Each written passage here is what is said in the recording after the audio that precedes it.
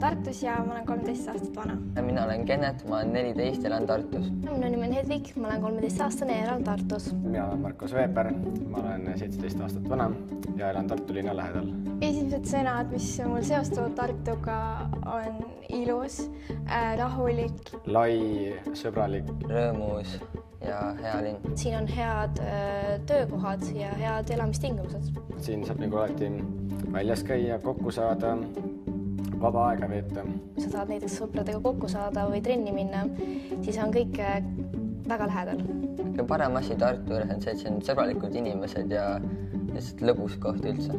tuleviku Tartus võiks olla minu meelest äh, rohkem äh, noortele pühendatud kontserteid või üritusi. linna ääred võiksid olla laiemad, siis kesklinn võiks olla moodsam ja rohkem haljastust ja rohelust. selleks, et teised tahaksid siia tulla elama, peaksid olema kindlasti ka inimestest ja lahked ja vastuvõtlikud. Tartu on tegelikult praegu minu jaoks on nagu väga hea koht, kus olla, aga kui midagi teistmoodi muuta, siis oleks see, et rohkem tantsida niimoodi.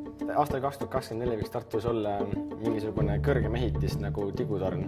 aastal kaks tuhat kakskümmend neli näeb Tartu välja ilmselt palju ilusam ja suurem ja rohelisem. ma arvan, et need on, pargid oleks täis siis äh, igasuguseid äh, pinke ja äh, mugavaid kohti, kus saab vabalt aega veeta. minu arust võiksid Tartu linna juhid luua siia rohkem asutusi, kus saaks õppida rohkematel aladel, sest et Tartus on siiski vähe alasid, kus õppida.